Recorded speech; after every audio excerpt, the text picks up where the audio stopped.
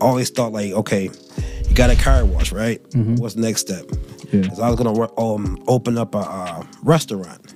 But talking to my friends and stuff like that, and he's like, "Yo, the ventilation system and stuff can cost a lot of money, this and the third. So I was like, "Okay, what could complement a car wash?"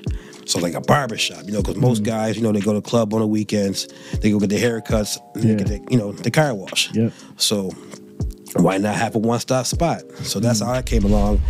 And um, I had a couple girls in there that worked. And one thing about when you have a vision, you see things through your own eyes. Yeah.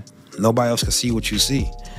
So I got uh, some other plans I want to do. I'm not going to speak on them right now until it happens. But if I see something, I'm gonna go for it, and then it's up to me to fail. You know, um, like when the corona disease came out, and you know we had to shut down, but bills still had to get paid, rent still had to get paid, Absolutely. and food still got get put on the table at my house. Yeah.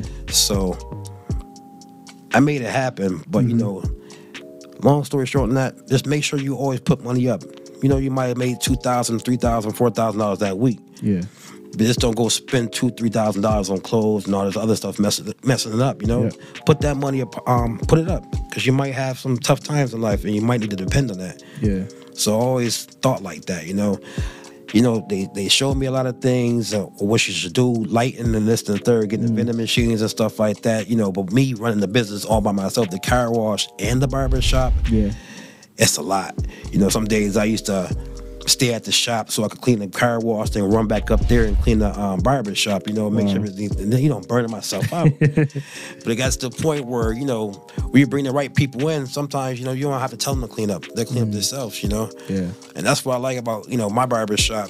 If you ever sat back and watch the movie Barber Shop, I kind of feel like I'm Calvin. You know, that was a good movie. Seriously, yeah. man. Like one day I, was- I was like, man, I'm fed up with this barber shop. I'm gonna turn it into a rib spot. Long story, but um, I had watched the movie Barbershop, and that made me realize, like, wait a minute, man. That's her personality. This is who he is. That's who he is. You know.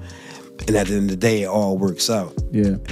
No, when I'm going to work, I know I'm definitely coming home with some money. You Yeah. know, and definitely be able to take care of my kids and take care of business like I'm supposed to, as I see my father do it. Yeah. You know, uh, back in the day, my father used to take us to Wegmans, Jubilee, Tops, and used to go to Wilson Farm just to grab the bread and the eggs. You know, and we I seen him watch him spend cash, take care of the family as a man, be in the backyard detailing his car. Mm. You know, with the music up loud. You know, that's one thing about my father, man. You know, he kept his car clean. You get in the car, you touch his windows. Oh man, he's gonna be mad.